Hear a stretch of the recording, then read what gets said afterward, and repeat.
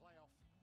So much to look forward to tonight and to talk you through this one. It's Rob Vickerman and a very good evening to Joe Burns. Welcome to a rocking national stadium at the Singapore Sevens. The fans have been treated to electric sevens. Such is the energy in the venue. They may as well rename this place the National Grid. We've got France and Spain vying for ninth place, and it's the France team who've scored the most tries across the weekend, 23 all told. And this Spanish side, coming into the tournament, made the second most line breaks across the series. So get ready for some action.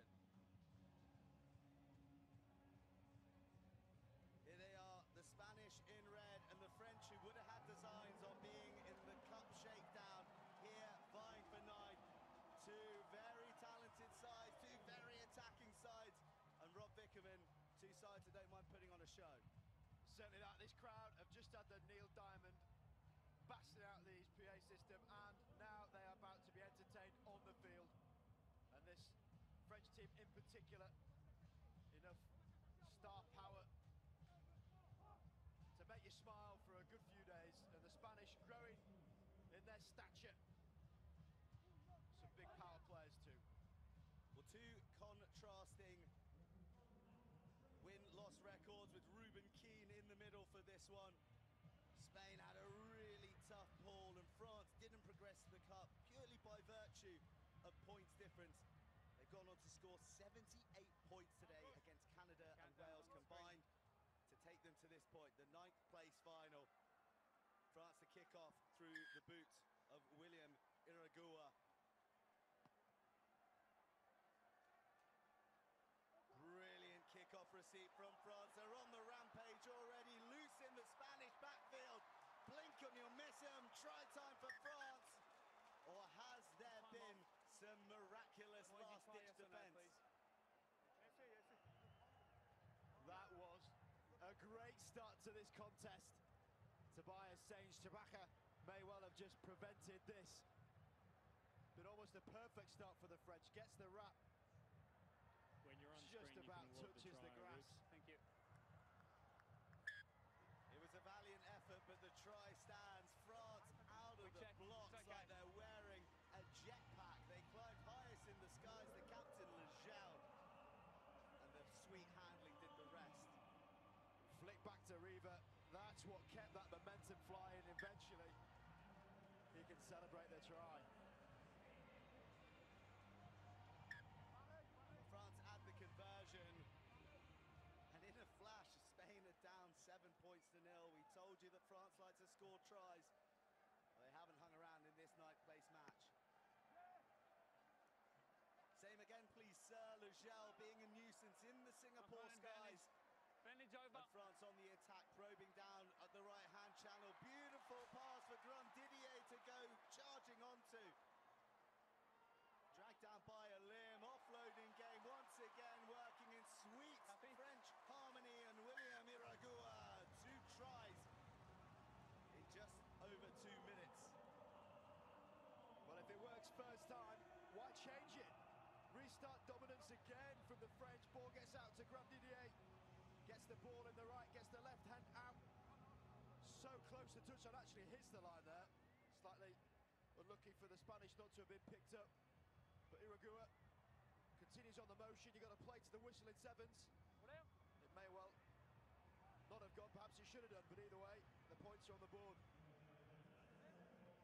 Decent effort from tight on the touchline, but Iraguha, he was fabulous against Wales. Every good bit of play that France created came through Iraguha, building himself a name on the series. and it comes from offloads. They do that because they run through that contact, keep those arms free, and keep those support lines coming thick and fast. Finally, Spain get their hands on the ball. Olinchez claiming the first kickoff, and in the hands of Jerry Sarumi, the Fijian turned Spanish sevens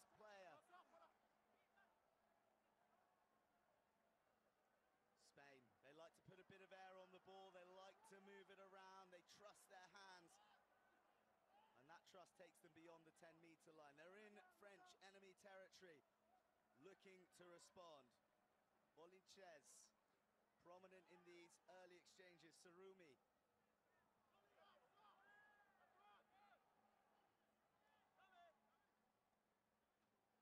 Patient stuff being marched back by the French defence. Spain probe through the middle. Nice no-look pass with contact arriving.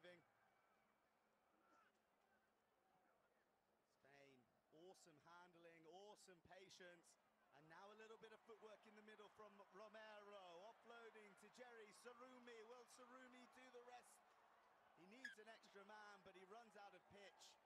Drop it, please, nine. Thank you. Another close one, not too sure he was in touch then We're either. set. Interesting scenes on this near touchline, but that's the nice bit of play in the middle. The French love their offloads at the moment. The Spanish are matching them. Neighbours in geography, akin in style of sevens as well. Well, they know this team very well. In the build-up, they've been training in Ireland and in France.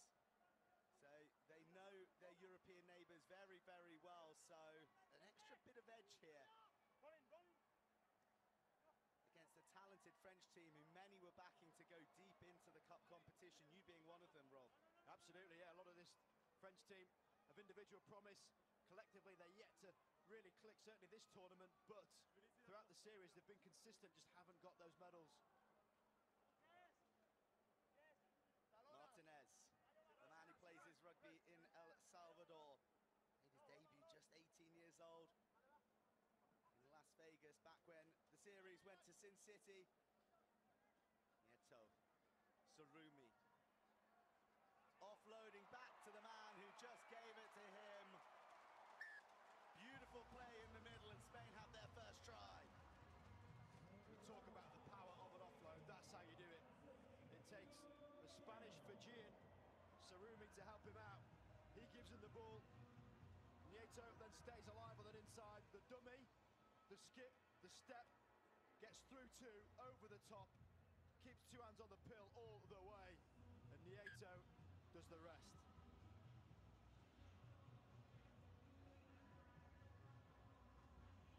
Nico Nieto's been in and among the tries all weekend, and Juan Martinez maximises his try-scoring effort. And look at that offload statistic. Spain, plenty of adventure in the manner in which they attack. And that's just come from 12 carries. Half of the time the Spanish are taking that contact, they're keeping that ball free. A frustrating kick-off attempt. And France very languidly make their way to the halfway line. They say fair, but it seems to work. Let's go for. Iraguha. The pivot to his captain, Laugel. Go France. They decide to strike right. Grandidier, he's a hot stepper. His stepping is far too hot for these Spanish players. He ghosts across. Fabulous solo effort from Aaron Grandidier.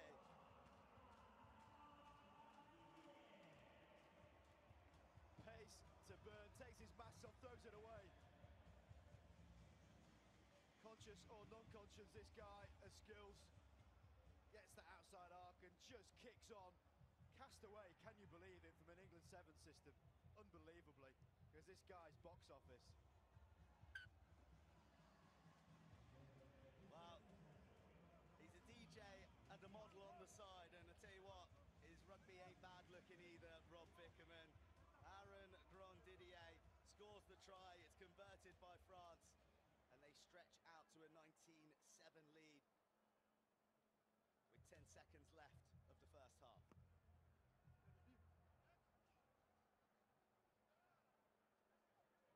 Play. Well, Spain play it, and it is play on. It turns into a foot race. It's a well-weighted kick. The scoop, the dive, the try. Fabulous from Spain.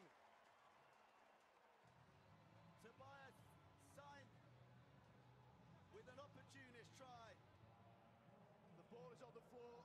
The French, if they play it, kill it because it hasn't gone 10, but he has the fortitude and wherewithal to kick on. And I challenge you at some point to go outside and practice this. Hacks it on full tilt and manages somehow to scoop this up with French defender on his back. Riva can't do anything about it. What an effort from Sainz-Trapaga. And the conversion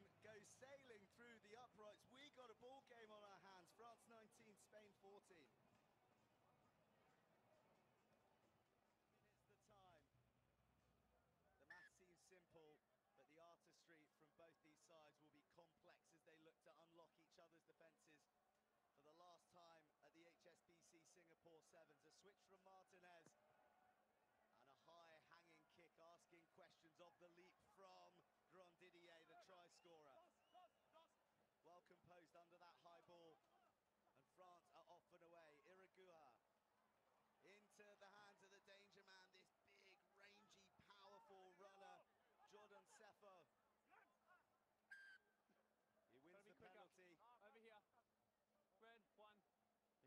ball, Sefo, were one of the biggest ones you'll find.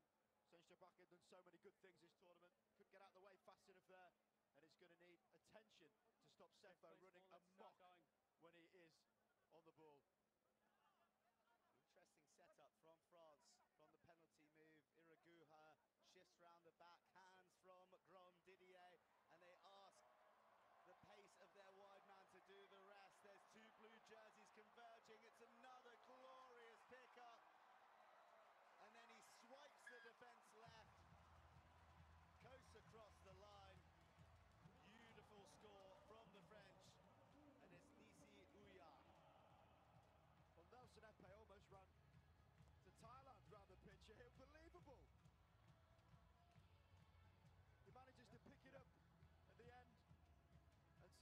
did, but where he went to keep that ball okay, in play, that was special.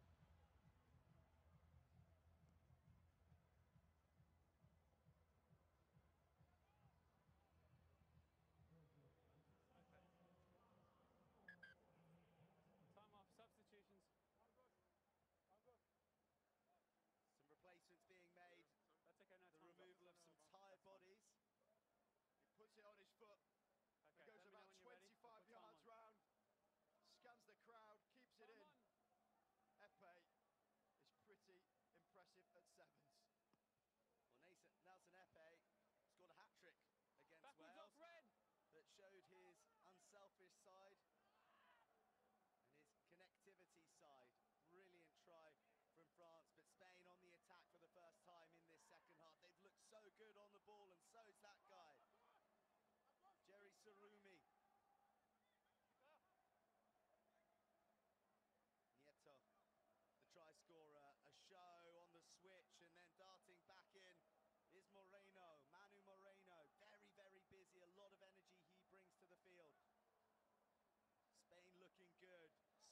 down the left flank. They spot a little glint of light, but it's put into darkness immediately by the French defensive jerseys. A short line.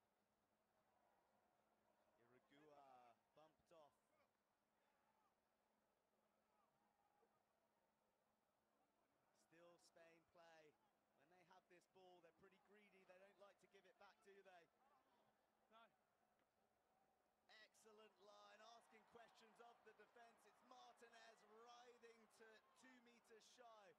One pass needed to put Saru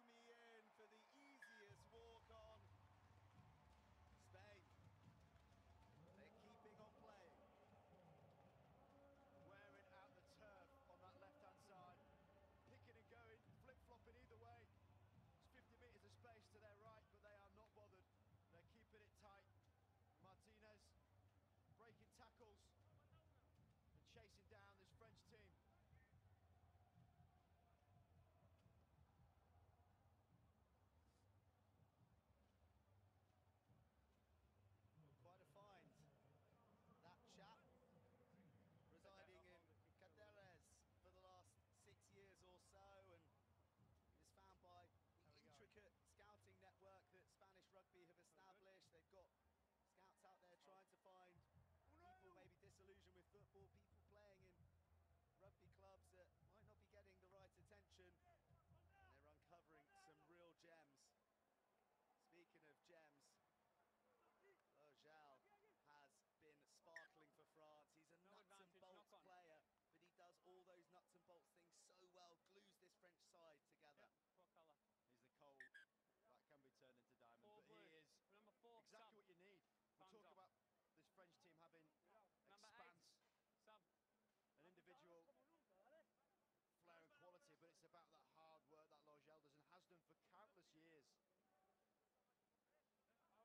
you. Okay. Well,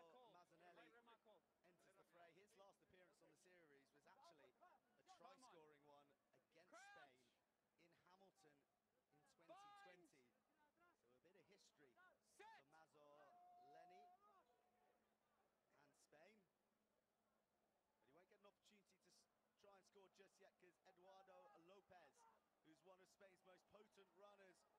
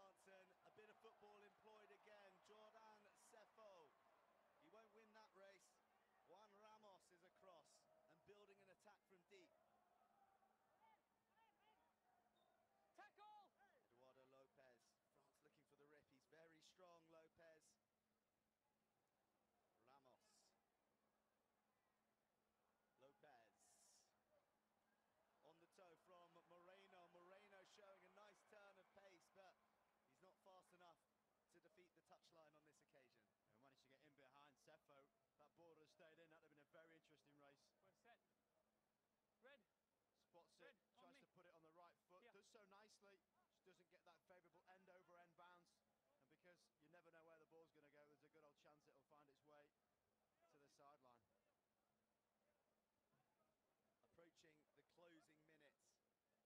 Or is it the closing minute? Spain trailing by five.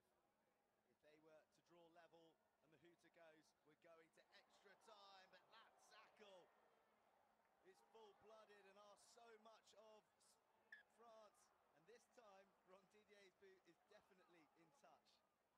Well, Pol Pla, like a Spanish missile, flies in, times it Substitutions, time up. perfectly. And if people are questioning if this low tackle can prove to be effective, take a look at that one. True Baldur backwards. Not only that, he gets back on his feet and makes the next one. Paul Okay, is possessed. Hold. Time on.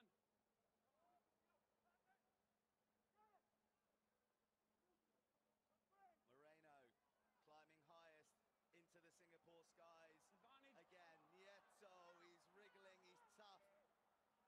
Spain knocking at the Advantage door. over. Eduardo Lopez spills the ball with the line begging. He chose Advantage the over. line, he had the physicality, but his hands deserted him. Oh, and take a look top left. There were 25 seconds left on the clock at that point. Five points behind the Spanish. If he takes that ball, he's over the line. There's a chance to win it. Heartbreak Yeah, we got time off. Phone for. Spain, and that was a big collision. Just needs a bit of attention. Two. Well, the Spanish this tournament have set records for how many passes they accrue. You can see why it's effective, but it's not affecting the scoreline. They carry the ball, which is more than five steps with it, as well as their passing. So, love possession. And offloads have worked for them, but not enough. Line breaks are the thing that they've really been lacking. They can work teams Come hard, in. but this French Come team in, are fit go. enough to deal with it. You can see in terms of percentages way down for getting in behind that French defence.